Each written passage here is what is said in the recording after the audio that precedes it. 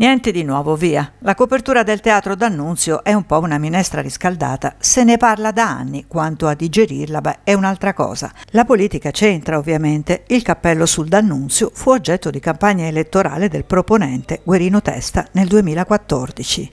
All'epoca l'opera venne brandita come alternativa all'altrettanto immaginifico e mai realizzato Ponte del Cielo di Luciano D'Alfonso. Testa, all'epoca esponente del nuovo centrodestra, presentò il progetto di copertura dell'anfiteatro, un intervento che, secondo i favorevoli, avrebbe consentito l'utilizzo della struttura praticamente tutto l'anno. Poi non se ne fece nulla, ma qualche giorno fa questa storia è tornata d'attualità prima con il quotidiano Il Centro, poi alimentata dal fuoco dei social. Tra i protagonisti della polemica e tra i contrari c'è anche Tino Di Sipio.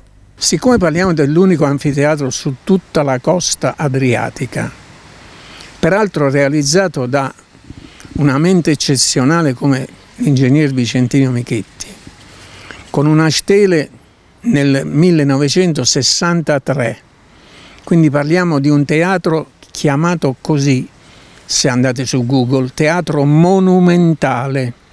Ora, coprire i monumenti mi viene quasi in mente che forse fra cento anni i miei nipoti, i nipoti dei Trisavoli, dei Trisavoli dei nipoti potranno vedere anche il Colosseo coperto di cristallo, ma lì lo si capisce perché probabilmente non sarebbe possibile andare contro le intemperie o le temperie, a seconda di come la vogliamo vedere. Il discorso è che questo diventa una cosa inutile, io mi sono allarmato perché l'ho visto fra le opere del triennale.